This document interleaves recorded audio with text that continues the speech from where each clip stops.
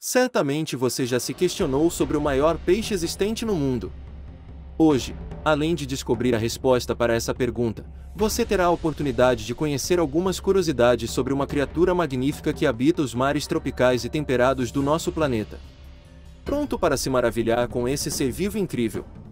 O maior peixe do mundo é o tubarão-baleia. Apesar do nome que sugere uma relação com as baleias, esse animal não é um mamífero.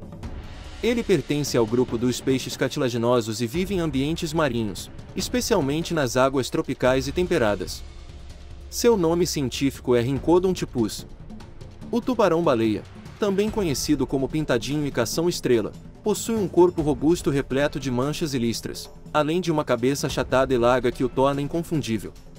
Essa criatura pode atingir até 20 metros de comprimento e pesar mais de 12 toneladas. O maior tubarão-baleia já registrado impressionava com incríveis 34 toneladas. Apesar de sua enormidade, o tubarão-baleia não é um grande predador dos oceanos. Sua alimentação baseia-se em organismos minúsculos, como pequenos crustáceos que compõem o plâncton. Além disso, eles também se alimentam de alguns peixes e moluscos, como as lulas. Para se alimentar, adotam uma estratégia bastante peculiar para uma criatura tão imensa: a sucção e a filtração. A boca do tubarão-baleia é impressionante, pois pode conter mais de 300 fileiras de dentes minúsculos e 20 almofadas de filtro que ele utiliza para filtrar sua alimentação. Ao contrário de muitos outros tubarões, a boca do tubarão-baleia está localizada na parte frontal da cabeça, e não na parte inferior. Foi relatado que um exemplar com 12,1 metros de comprimento possuía uma boca com um diâmetro de 1,55 metros.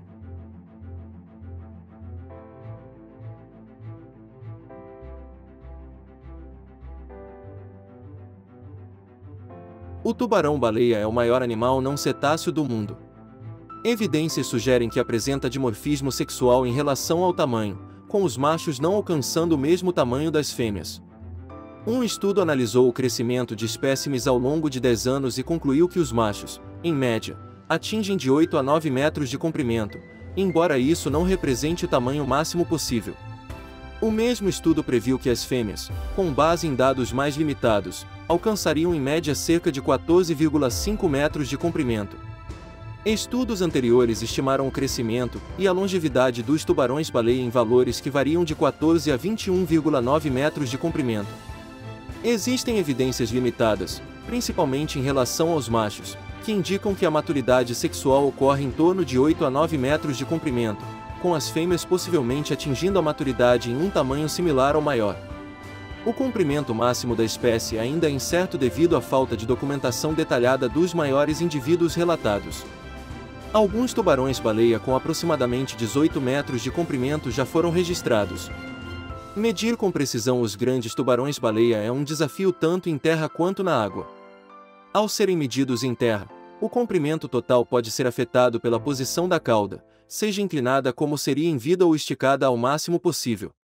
Historicamente, técnicas como comparações com objetos de tamanho conhecido e cordas com nós foram utilizadas para medições na água, mas podem apresentar imprecisões. Em 2011, a fotogrametria laser foi proposta como uma maneira de melhorar a precisão das medições realizadas na água. Crescimento e reprodução. O crescimento, a longevidade e a reprodução do tubarão-baleia são fenômenos pouco compreendidos. No passado, havia incertezas sobre se as bandas de crescimento presentes nas vértebras eram formadas anualmente ou semestralmente, o que é crucial para determinar a idade, o crescimento e a longevidade desses tubarões. No entanto, um estudo realizado em 2020 comparou a proporção de isótopos de carbono, 14 encontrados nas bandas de crescimento das vértebras de tubarões-baleia com eventos de testes nucleares das décadas de 1950 a 60 e descobriu que as bandas de crescimento são estabelecidas anualmente. Esse estudo estimou que uma fêmea de 10 metros de comprimento tinha 50 anos de idade, enquanto um macho de 9,9 metros tinha 35 anos. Outros estudos que analisaram as bandas de crescimento das vértebras e mediram os tubarões-baleia na natureza sugeriram que sua expectativa de vida varia entre cerca de 80 a 130 anos.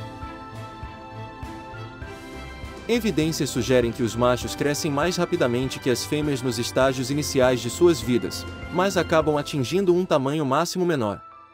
Os tubarões-baleia apresentam maturidade sexual tardia, e estudos indicaram que os machos atingem a maturidade por volta dos 25 anos. Embora não tenha sido observado o parto dos tubarões-baleia, o acasalamento foi testemunhado em duas ocasiões em Santa Helena. O acasalamento dessa espécie foi filmado pela primeira vez em 2019, na costa de Ningalo, quando um macho maior tentou, sem sucesso, acasalar com uma fêmea menor e imatura. A captura de uma fêmea grávida de cerca de 10,6 metros em julho de 1996 revelou que os tubarões-baleia são ovovivíparos, ou seja, os ovos se desenvolvem dentro do corpo da fêmea, e ela dá à luz filhotes vivos com cerca de 40 a 60 centímetros de comprimento. Acredita-se que os filhotes não nascem todos de uma vez, mas que a fêmea retém o esperma de um único acasalamento e produz uma sequência contínua de filhotes ao longo de um período prolongado. Em 7 de março de 2009, cientistas marinhos nas Filipinas descobriram o que acreditam ser o menor espécime vivo de tubarão-baleia. Esse jovem tubarão, com apenas 38 centímetros de comprimento, foi encontrado com a cauda amarrada a uma estaca em uma praia em Pilar, Sorsogon, nas Filipinas, e foi liberado na natureza.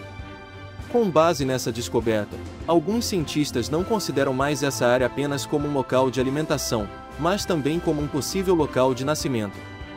Tanto jovens tubarões-baleia quanto fêmeas grávidas foram avistados nas águas de Santa Helena, no Oceano Atlântico Sul, onde é possível observar numerosos tubarões-baleia durante o verão. Relatórios do World Wide Fund for Nature, WWF, Filipinas também identificaram a presença de juvenis muito jovens de tubarões-baleia na área de Tição, o que sugere que essa região pode ser um importante berçário para essas criaturas magníficas. Dieta Existem dois métodos principais pelos quais o tubarão-baleia se alimenta: filtração e alimentação ativa por sucção.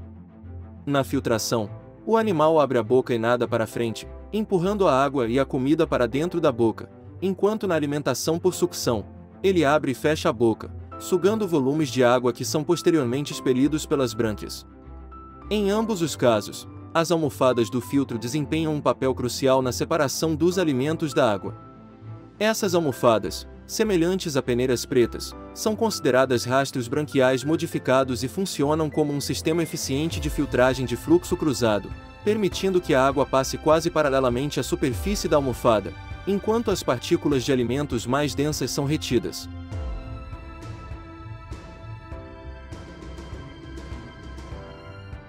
Relação com humanos Apesar de seu tamanho impressionante, o tubarão-baleia não representa nenhum perigo para os seres humanos. Esses peixes são conhecidos por sua natureza dócil, e às vezes, até permitem que nadadores peguem uma carona, embora os cientistas e conservacionistas de tubarões desencorajem essa prática devido à possível perturbação causada aos tubarões. Especialmente os tubarões-baleia mais jovens são gentis e podem até brincar com mergulhadores. Muitos fotógrafos subaquáticos, como Fiona Ayers, capturaram imagens desses tubarões nadando pacificamente próximo a humanos, sem representar nenhum perigo. Estado de conservação. Atualmente, não há uma estimativa precisa da população global de tubarões-baleia. Essa espécie é considerada ameaçada pela União Internacional para a Conservação da Natureza, IUCN, devido aos impactos da pesca, captura incidental e colisões com navios, combinados com seu longo tempo de vida e maturação tardia. Em junho de 2018, o Departamento de Conservação da Nova Zelândia classificou o tubarão-baleia como migrante, com o qualificador seguro no exterior, de acordo com o Sistema de Classificação de Ameaças da Nova Zelândia. Além disso, a espécie está listada, juntamente com outras seis espécies de tubarões, no Memorando de Entendimento sobre a Conservação de Tubarões Migratórios da Convenção sobre a Conservação das Espécies Migratórias de Animais Silvestres, CMS. E se você gostou do vídeo, deixe seu like e envie para seus amigos. Seu apoio é muito importante para nós.